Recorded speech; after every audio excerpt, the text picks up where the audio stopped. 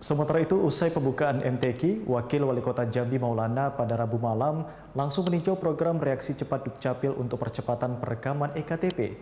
Program ini dikhususkan untuk wilayah yang terdampak pemekaran kelurahan dan ditargetkan akan selesai jelang pemilu.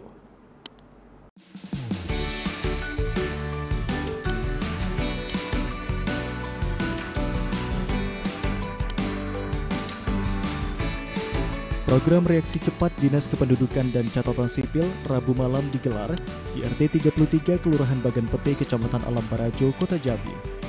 Program ini dalam rangka percepatan perekaman EKTP bagi warga yang terdampak oleh pemekaran kelurahan beberapa waktu lalu.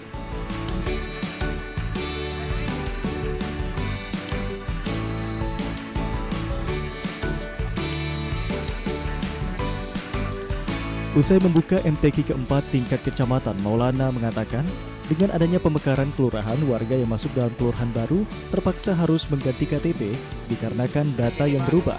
Maulana pun menargetkan program ini akan selesai jelang pelaksanaan pemilu mendatang. Untuk diketahui, pemerintah kota Jambi telah lakukan pemekaran terhadap beberapa kelurahan yang totalnya ada enam kelurahan baru hasil pemekaran.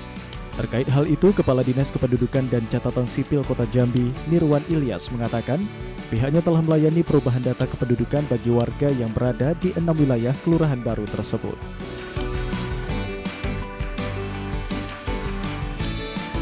Agustri, Jambi TV